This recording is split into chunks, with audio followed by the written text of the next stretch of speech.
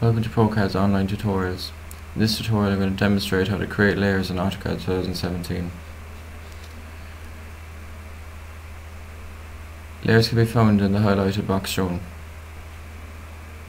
For more options you can also select the down arrow. First we're going to add center marks and, and create a layer.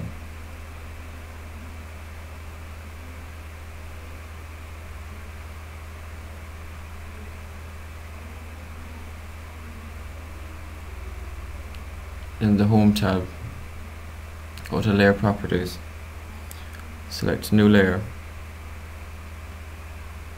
type in Center Marks,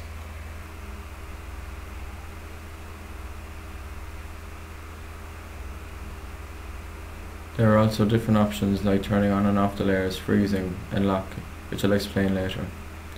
For now I'm just going to change the colour. Set it to yellow. Next, going to set the line weight to 0.25 millimeters.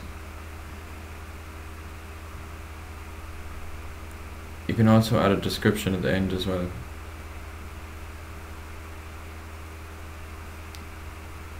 Also, you can lock the layers. When locked, none of the objects of that layer can be modified until unlocked. I'm just going to close that for now.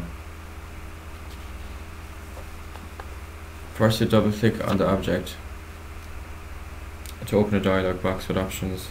I'm going to select the layer. Then I'm going to match the properties of that layer to the other center marks. First you select source object, then select objects to convert the same layer as object selected, and then press enter.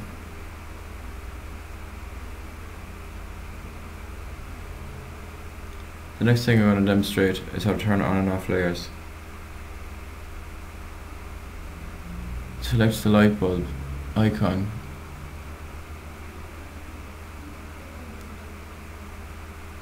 The layer left on is the table layer.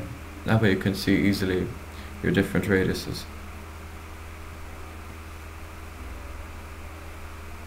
The next one I'm going to demonstrate is the dimensions layer.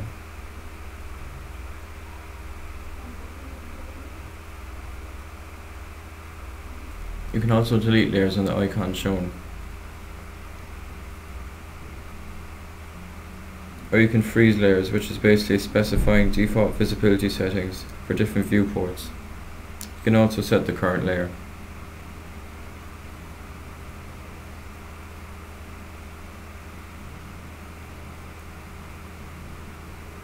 Thanks for watching ProCAD's online tutorials.